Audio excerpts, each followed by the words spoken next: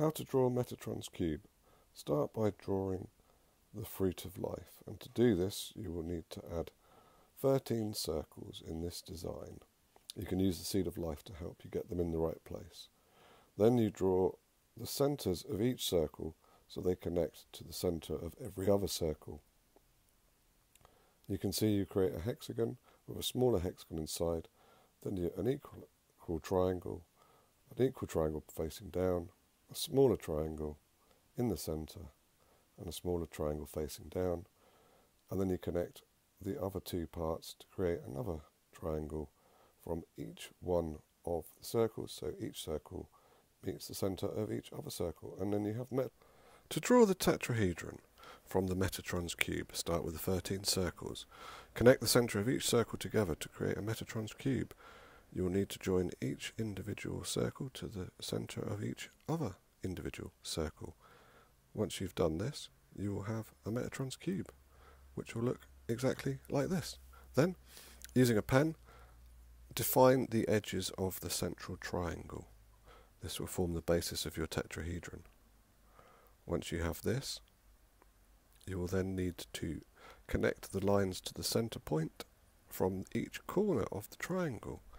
And imagining this is a three-dimensional, three-sided pyramid, or four-sided pyramid.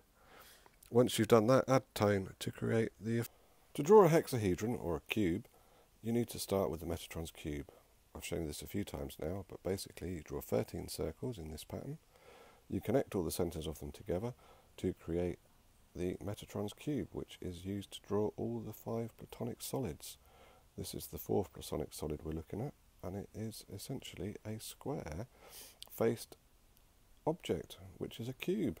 So you draw in the lines along the hexagon edge and to the centre, and it will give it the impression of three dimensions when you add some highlights to create that cube effect, a bit like an ice cube or a crystal.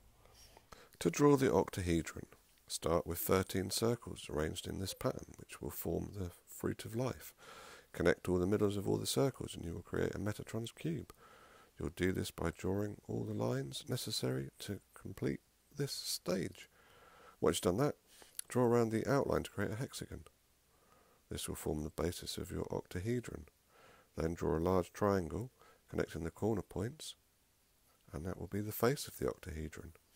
Then you can put the back lines in, which shows the other side of it, and add some white pencil to create a sort of see-through highlight. This will make your octahedron appear three-dimensional. All created with the Metatron's cube. Thanks for watching. To draw the dodecahedron a platonic solid, start with the fruit of life, which is made up of 13 circles arranged like this. You will then need to connect all the centres of all the circles together to create a Metatron's cube. I did a video on this recently, so you can watch that to show you exactly how to do it, but basically all the centres meet all the other centres. Once you have this shape completed, you will then need to identify the centre point and draw a pentagon connected to the centre point. You'll need two more pentagons connected to the centre point, which coincidentally is where Terence Howard got his linchpin from. So you might recognise this pattern of these hexagons connected there. Then you need to draw a line along the side, connect that into the corners, and that will create your dodecahedron shape. Once you've got the shape, you can add the back drawing lines in if you wish, and then you can add some tone to make it. How to draw the icosahedron, one of the platonic solids. Start with a triangle, then draw a larger triangle that surrounds it.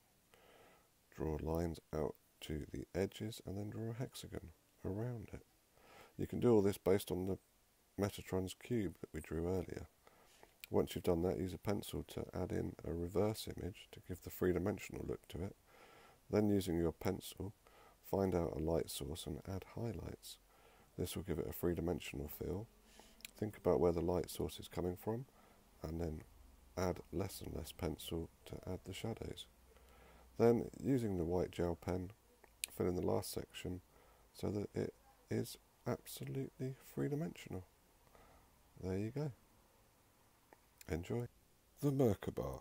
Start with a triangle. Then draw another triangle the same size behind it. Once you've done this, draw a smaller triangle in the centre of the first triangle. Then connect the centre point to the corners. Once you've done this, use a pencil to add in the other lines, which you'll need for when you add the tone. Add highlights to one side where the light will catch it. I've used a pen. Then, using a pencil, add light to the flat front side, but give it a three-dimensional look by changing the direction of your shading. This way it will look like it's slightly indented. Then add highlights to the top sections so that it really gives that three-dimensional Merkaba vibe.